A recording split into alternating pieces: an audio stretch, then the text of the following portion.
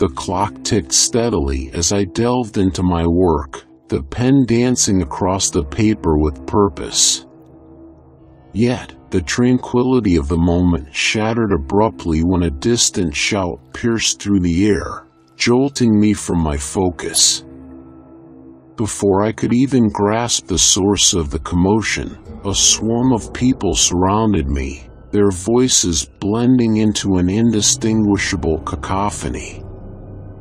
My journey into the labyrinth of enigmatic events began when I took Emily as my second wife, a decision that led me to settle in her expansive estate nestled in the serene landscapes of Northern California. The estate boasted of vast tracts of land, adorned with sprawling gardens and lush foliage, creating an idyllic haven just on the outskirts of a quaint, provincial town. Adjacent to our abode stood another imposing structure, almost a mirror image of ours, housing Emily's sister, Millicent.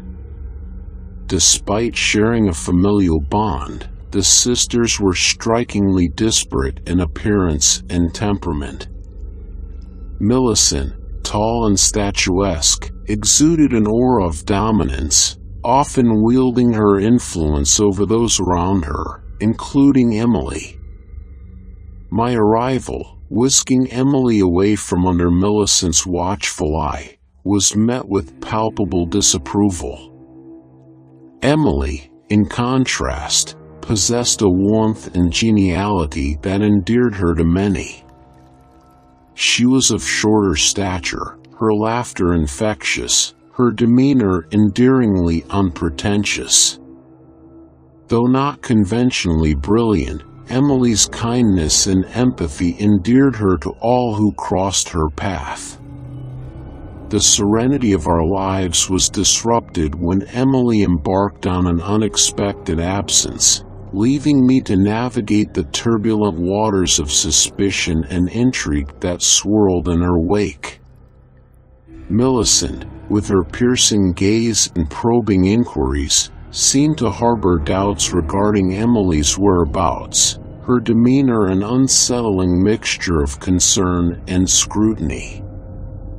It was during one such encounter, amidst the comforting embrace of nature in the woods behind our estate, that I found myself grappling with the intricacies of our familial dynamics.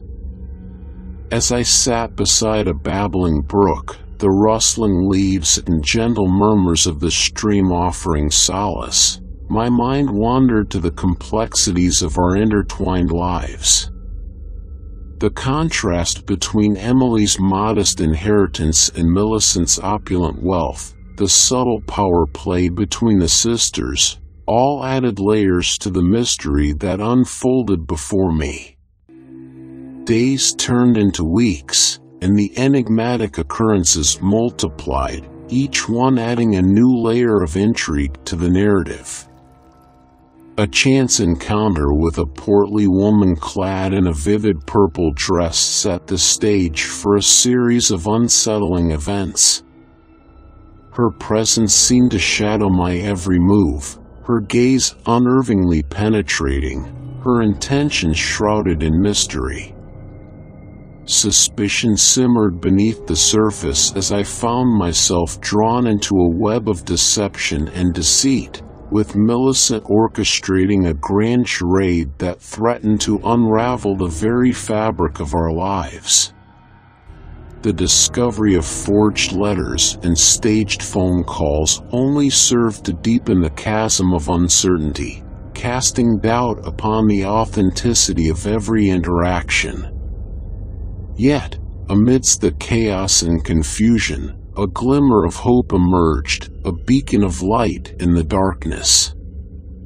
With each revelation, I found myself inching closer to the truth, piecing together fragments of the puzzle in a desperate bid to unravel the tangled web of lies. As tensions reached a fever pitch, a dramatic confrontation unfolded in the moonlit woods, with Millicent's hired detectives digging for evidence of a crime that existed only in the recesses of her imagination. It was a battle of wits and wills, a showdown between truth and deception, with the fate of our family hanging precariously in the balance. In the end, it was not the discovery of a buried secret that brought closure, but rather the unearthing of buried truths, the realization that sometimes the greatest mysteries lie not in the shadows of the unknown, but in the depths of our own hearts. And so, as the dust settled and the echoes of the past faded into oblivion, we emerged stronger, united in our resolve to forge a new path forward.